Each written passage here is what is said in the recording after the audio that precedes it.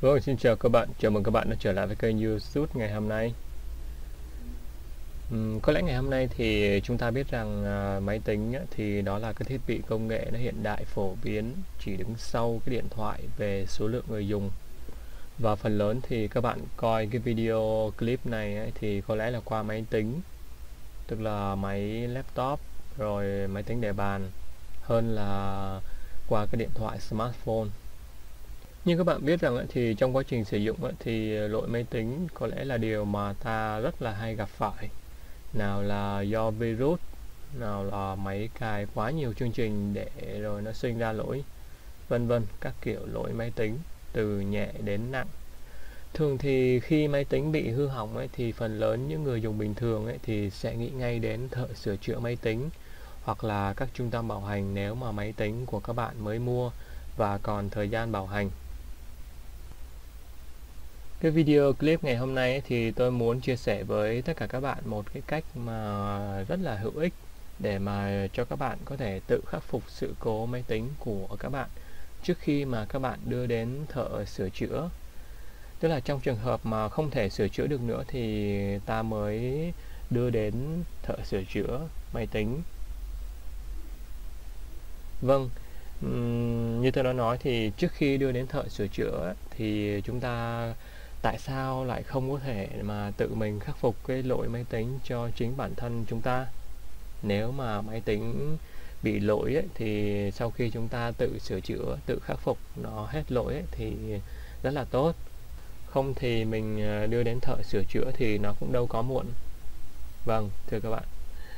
Xin nhắc lại là hôm nay thì tôi sẽ hướng dẫn cho các bạn một cái cách mà rất là đơn giản và dễ dàng để mà khắc phục bất kỳ những cái lỗi máy tính nào nhất là lỗi về phần mềm và lỗi bị virus tấn công. Và xin lưu ý là với phương pháp này thì ta gần như có một cái máy tính nó hoàn toàn mới như là thợ sửa chữa vẫn hay làm cho chúng ta.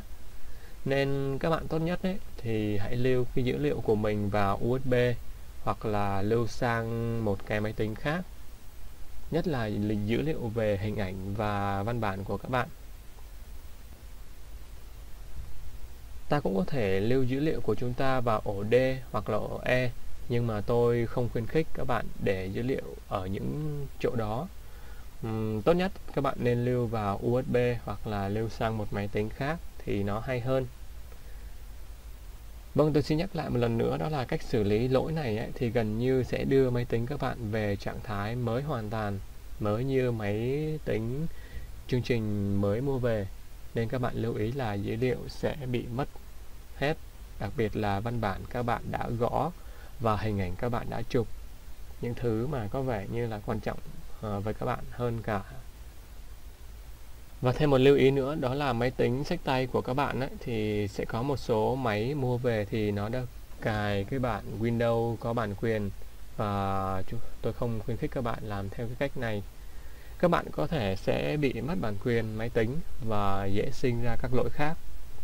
Với những máy tính như vậy ấy, thì tôi sẽ có một cái bài hướng dẫn khác để mà các bạn khắc phục sự cố lỗi máy tính của mình. Còn lại tất cả những máy tính Windows ấy, thì đều có thể làm theo cái cách này. Và hãy nhớ rằng thì trước khi nhờ đến thợ sửa chữa máy tính ấy, thì tại sao chúng ta không tự tự xử lý cái sự cố tự xử lý những cái lỗi máy tính của chính chúng ta. Cùng lắm là làm không được thì ta mới phải nhờ đến thợ thôi. Nào, bây giờ ta sẽ bắt tay làm ờ, ngay bây giờ. Hy vọng là máy tính của các bạn nó còn có thể lên màn hình để mà ta xử lý nó nhé. Còn nếu mà không lên màn hình ấy, thì hơi khó à.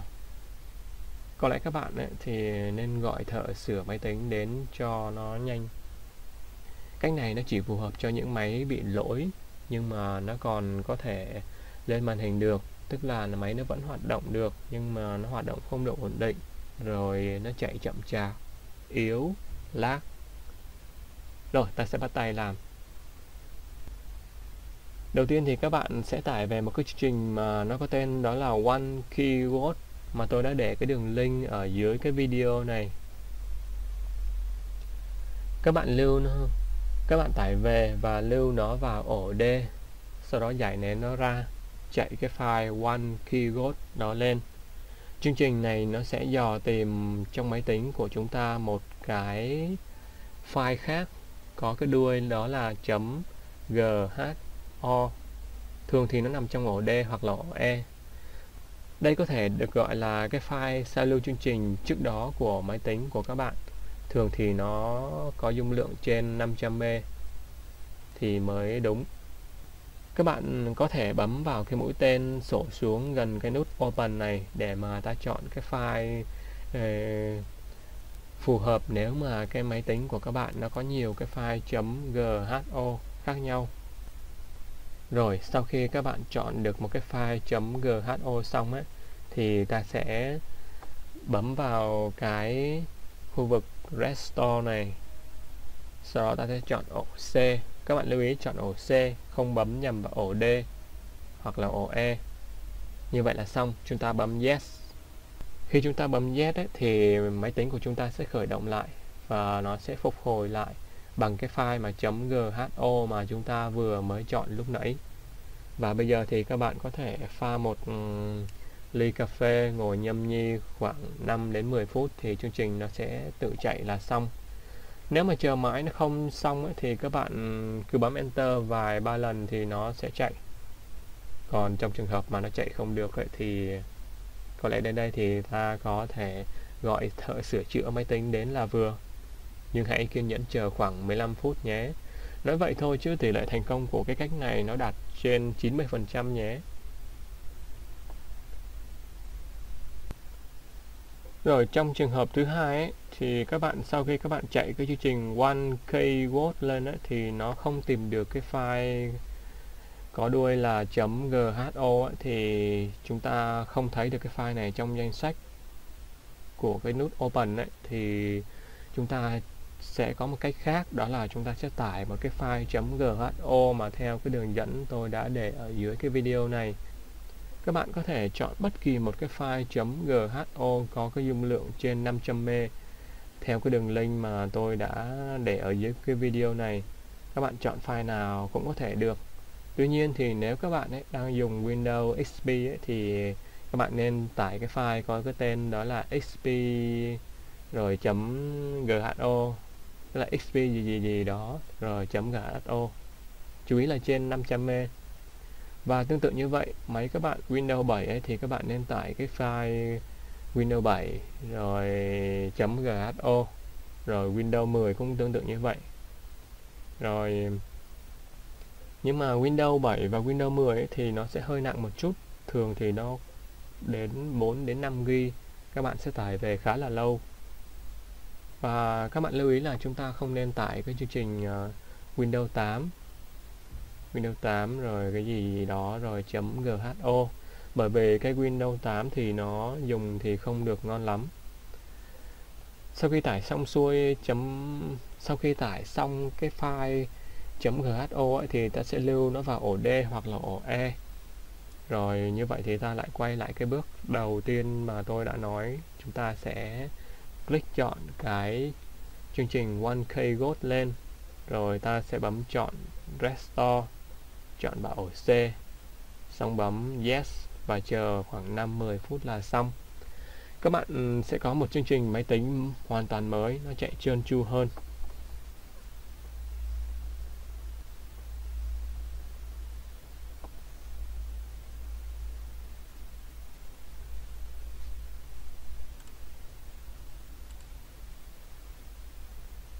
Vâng, trên đây thì tôi vừa mới giới thiệu đến các bạn một cái cách để mà ta tự xử lý cái sự cố máy tính cho chính chúng ta trước khi mà ta mang nó đến thợ sửa chữa.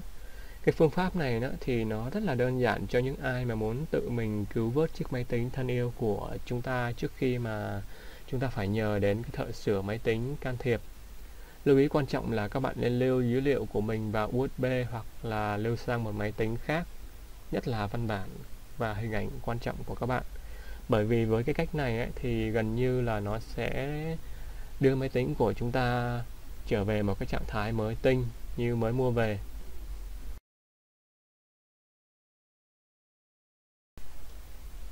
Nếu các bạn thấy video này hữu ích và làm được thành công ấy thì uh, nhớ bấm subscribe, đăng ký like ủng hộ kênh.